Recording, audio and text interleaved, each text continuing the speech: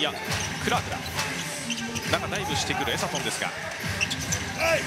このスリーが来る狩野祐介のスリーどころを探ります中東ですが狩野のショートコーナーからのジャンパー。もう一度狩野のフェアウェイ。狩野選手のこのオフボールのゴール下のムーブですよね。ことになりました。キャッチシュート。狩野のツーポイントです。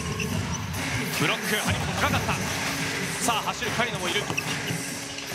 その狩野下がって深いところからツーポイント。そうですねもうそうあの名古屋がどんどんワイドに開きながら、はい、でディフェンスももう高さを完全に生かしてますよね。はい。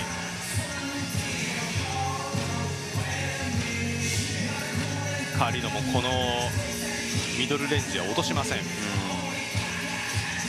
本当にシュートの名手ですよね、カリノ選手はね。